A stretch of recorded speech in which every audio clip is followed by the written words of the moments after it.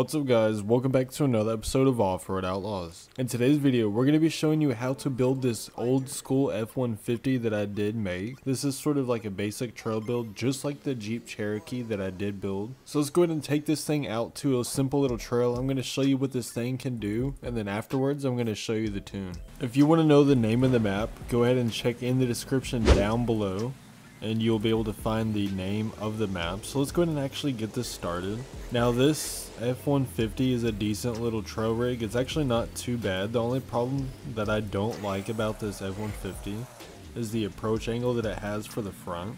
But other than that, it's a pretty good crawler. Now so far my favorite one for like like I'd have to say the best vehicle so far I think in the game for sort of stock vehicles would have to be the newer Bronco.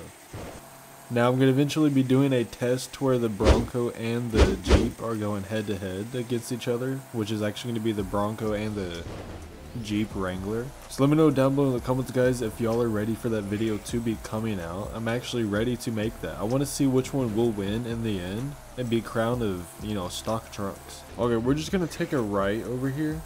Now I'm not too sure exactly where I'm going. Okay. I don't know what that was. What is this over here?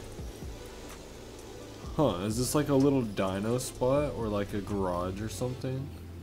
Maybe a workshop? I'm not too sure. We're just gonna make our way around the top of this. I do see that there might be a possible trail up here. Guys, let me know down below in the comments if you've actually been to this trail or this map before. So far I actually like it. It's somewhat realistic. It's not too bad of a realistic trail. I still have yet to find a true trail that is exactly realistic and everything down to T. Now this one might actually, it might actually be the one.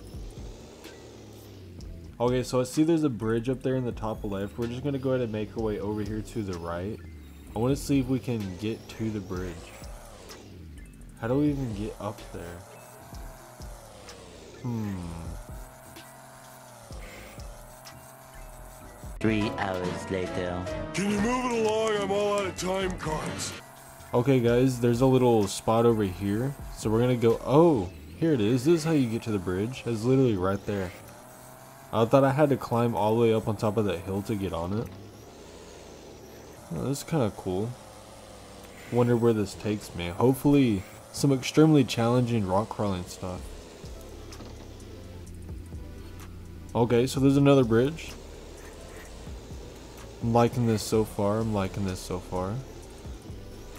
I actually like this F-150. It's doing pretty good. Let me know down below in the comments, guys. What are your thoughts on this? How do you think this F-150 is? Do you like the color scheme? Do you like the way it's performing? We're going to go ahead and make our way up this little simple trail right here. This actually doesn't look too difficult.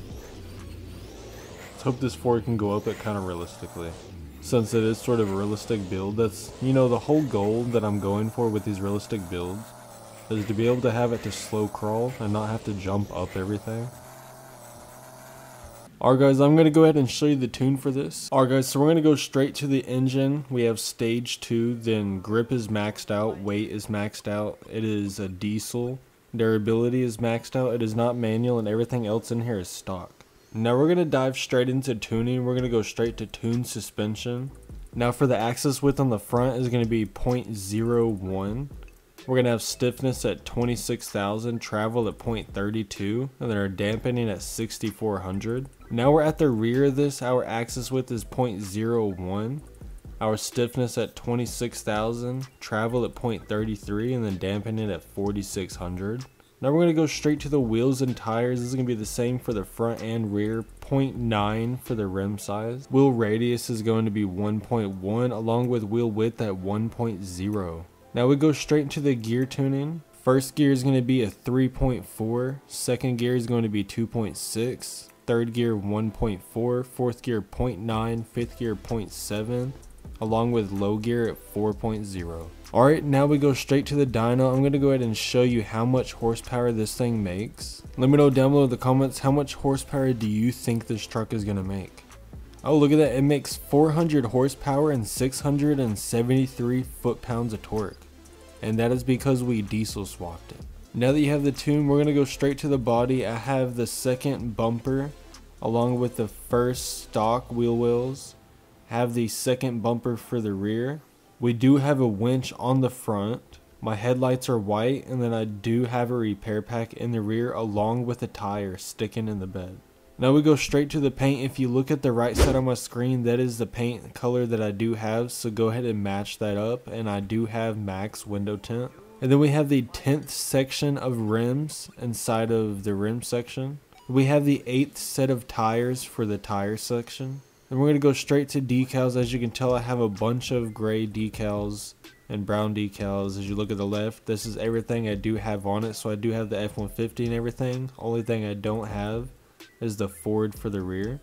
Well guys, let me know down below in the comments, what do you think about this F-150? Are you going to build it? Do you think it's a good build or do you think it's really bad? Let me know your comments down below. Besides that guys, please be sure to like and subscribe and turn on post notifications.